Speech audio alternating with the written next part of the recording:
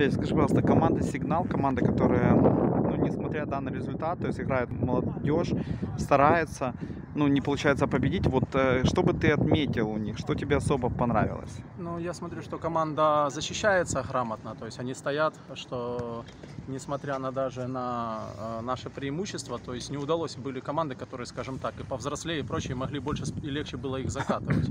А тут, конечно, надо отдать должное, что ребята играют, несмотря на то, что проигрывают, видно, что они растут, ну, с того матча, с которого я видел, они э, тактически выросли, они не расстраиваются. Я желаю им, чтобы они наконец-то добыли свои желанные победы, свои желанные очки, и молодцы, пусть продолжают в том же духе.